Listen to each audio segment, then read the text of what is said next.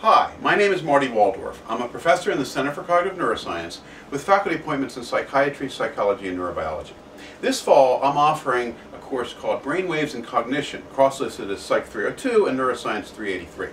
This is a combined lecture and lab course on the non-invasive recording of electrical brain oscillations, commonly known as EEG, as well as a more processing-specific form of EEG called event-related potentials, or ERPs, that are triggered by sensory and cognitive events.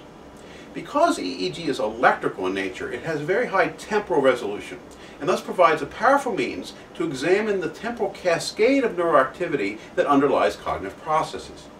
EEG is also widely used in hospitals for clinical purposes. In the lecture part of this course, students learn about the neural basis of EEG and its uses.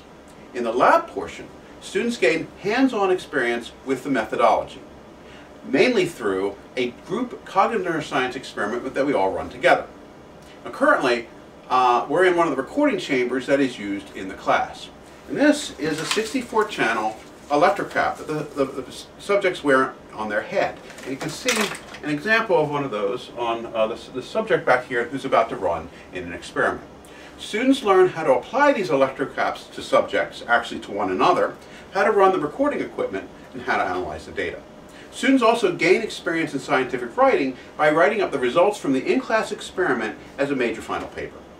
Thus, students gain real hands-on experience of the entire re scientific research process, as exemplified by the classic method of recording electrical brainwaves.